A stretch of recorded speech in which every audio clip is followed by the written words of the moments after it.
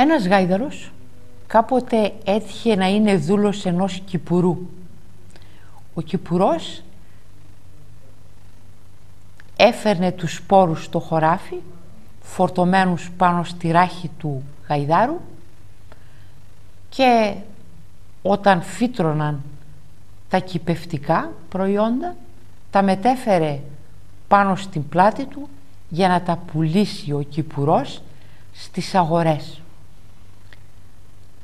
Επίσης μετέφερε και τα λιπάσματα, δηλαδή χώμα από το ναό της Θεάς Δήμητρας, στον οποίο είχαν δωρήσει οι γυναίκες στα θεσμοφόρια χείρους από το λίπασμα των οποίων, το λίπος των οποίων προέρχεται και η λέξη λιπάσματα γιατί τα ζώα αυτά, τους χείρους δεν τους θυσίαζαν στην Θεά Δήμητρα αλλά τους έριχναν μέσα στο θεσμοφόριο από τρύπες και κρατούσαν μάλιστα τους χείρους ζωντανούς από την ουρά τους.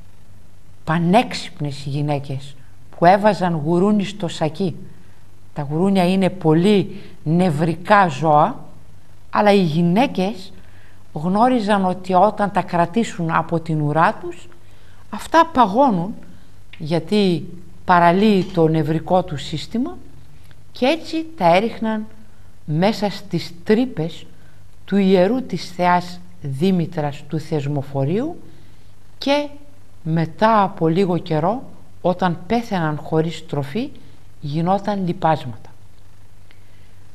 Ο Γάιδαρος λοιπόν κουρασμένος από τις μεταφορές των σπόρων, των λιπασμάτων και των κυπευτικών παρακάλεσε τον Θεό Ερμή που είναι ο Θεός προστάτης του εμπορίου να τον παραδώσει σε άλλον Κύριο, σε άλλον δεσπότη. Και τότε ο Ερμής κανόνισε και ο Γάιδαρος πουλήθηκε σε έναν κεραμέα. Αλλά και ο κεραμέας δύσκολες εργασίες έδωσε στον Γάιδαρο. Μετέφερε χώμα κατάλληλο για να γίνει πυλός αναμεμειγμένος με το νερό και να γίνει ψημένα αγγεία τα οποία ετοίμαζε ο κεραμέας και πουλούσε στις αγορές μεταφέροντάς τα, τα αγγεία του με τον γάιδαρο. Ο γάιδαρος τότε κατακουρασμένος και από τον δεύτερο εργοδότη του, δεσπότη του, αφέντη του, παρακάλεσε τον Θεό Ερμή για επόμενο δεσπότη, για επόμενο αφέντη, καλύτερο από τους δύο πρώτους. Και τότε ο Ερμής τακτοποίησε και αυτήν την επιθυμία του και ο Γάιδαρος πουλήθηκε για τρίτη φορά σε έναν βυρσοδέψη ο οποίος ασχολείται με τα δέρματα. Δέρματα λοιπόν αγόραζε ο βυρσοδέψης από διάφορες περιοχές, τα έφερνε στο εργαστήριό του και βρέχοντάς τα και τανίζοντάς τα για να γίνουν μακρύτερα και ξυρίζοντάς τα για να φύγει το μαλλί ή χρησιμοποιώντας χτένια για να χτενίσει το παχύ τρίχωμα και να φτιάξει γουναρικά. Ταλαιπωρούσε τον γάιδαρο γιατί μετέφερε τα προϊόντα του βυρσοδέψη από και προς το βυρσοδεψίο και επίσης στην αγορά προς πώληση. Και όταν έβλεπε τα δέρματα ανατρίχιαζε αυτός ο γάιδαρος γιατί ήξερε ότι το τέλος του θα ήταν να γίνει ένα από τα δέρματα που επεξεργαζόταν ο Βυρσοδέψης στο εργαστήριό του. «Καλύτερα να έμενα στα προηγούμενα αφεντικά μου», είπε ο Γάιδαρος, «γιατί όπως βλέπω ούτως και το δέρμα μου μέλει αφελήν αυτός θα μου βγάλει και το τομάρι μου ο μύθος δηλώνει ότι αυτοί οι οποίοι είναι δούλοι σε κάθε καινούριο που είναι χειρότερος ποθούν τον προηγούμενο και λένε κάθε πέρσι και καλύτερα. Ένας γάιδαρος κάποτε περνούσε φορτωμένος πάνω από ένα ποτάμι. Αλλά στο μικρό γεφυράκι γλίστρισε ο γάιδαρος και έπεσε μαζί με το φορτίο που κουβαλούσε στην άμαξα και ξελάφρωσε από το φορτίο. Γιατί το φορτίο που μετέφερε ήταν αλάτι το οποίο έλειωσε μέσα στο νερό και ο γάιδαρος ξελαφρωμένος βγήκε και συνέχισε χωρίς φορτίο πάνω στην πλάτη του. Την άλλη μέρα ο κύριος του τον φόρτωσε με σφουγγάρια. Ο γάιδαρος έπρεπε να περάσει από το ίδιο γεφυράκι και πονηρά σκεπτόμενος είπε δεν ξανά πέφτω να ξεφορτωθώ και αυτό το βαρύ φορτίο που μεταφέρω.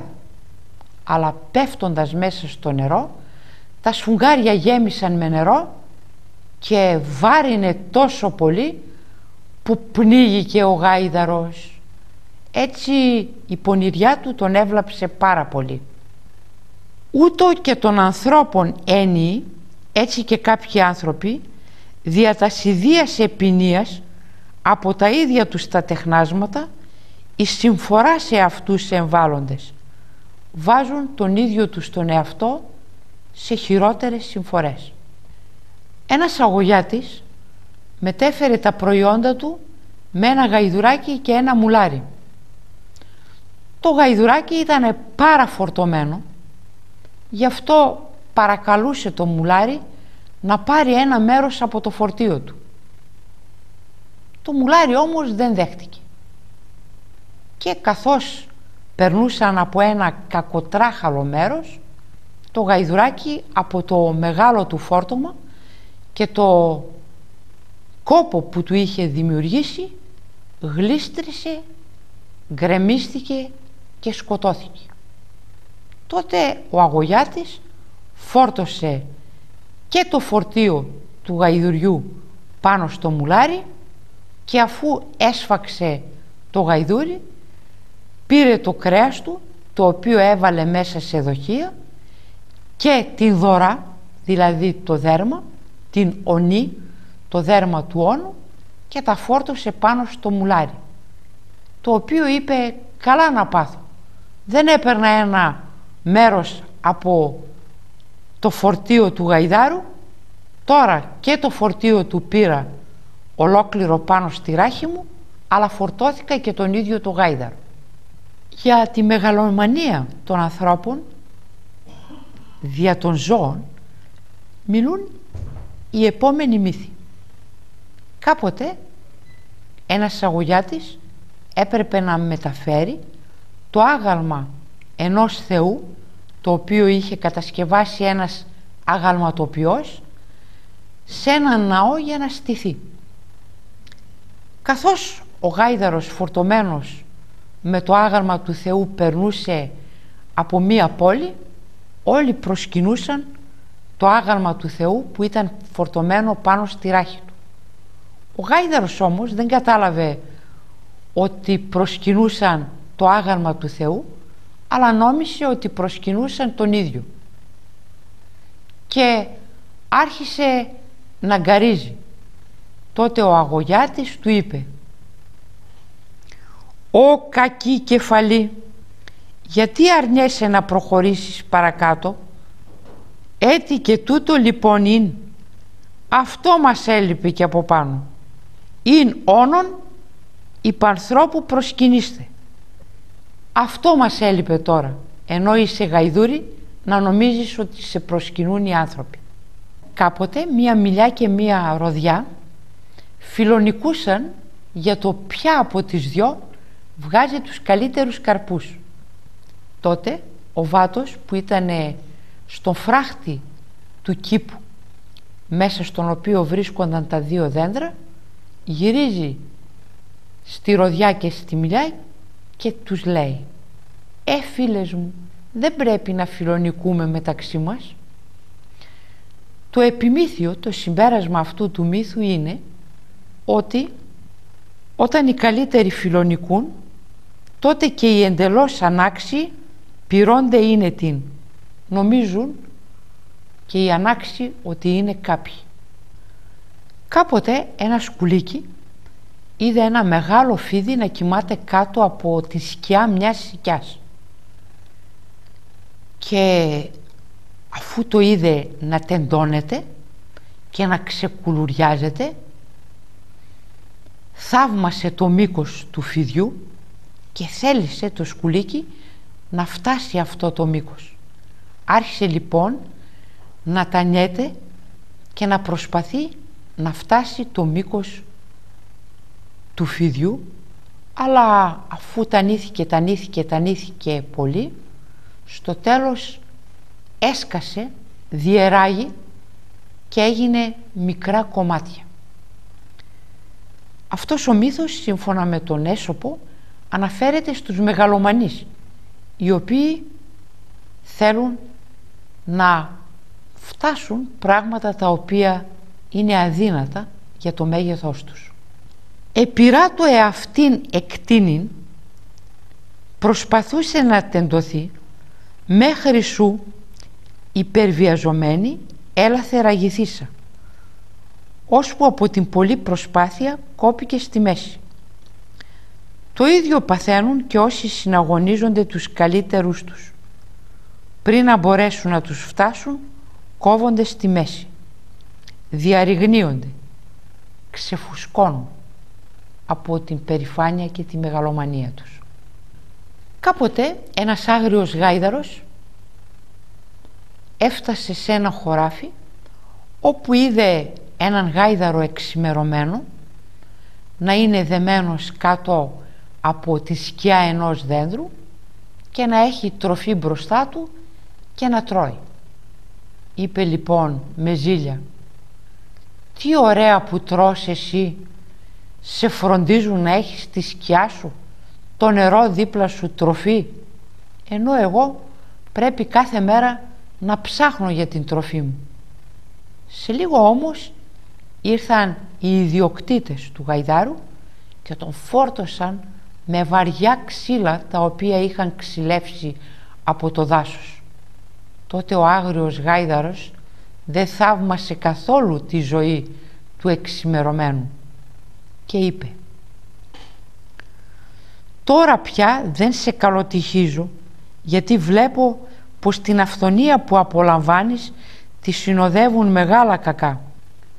Έτσι δεν αξίζει να ζηλεύεις τα κέρδη τα οποία βγαίνουν με μεγάλους σκόπους και μεγάλες ταλαιπωρίες.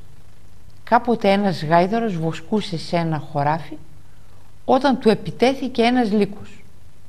Μόλις ο λύκος πλησίασε τον γάιδαρο, ο γάιδαρος προσποιήθηκε ότι τον πονούσε πάρα πολύ το πόδι του γιατί είχε πατήσει ένα αγκάθι και είπε στο λύκο «Καλέ μου λύκε, μη με φας πριν μου βγάλεις το αγκάθι από το πόδι. Γιατί θα φας και το αγκάθι και ίσως μπλέξει μέσα στα έντερά σου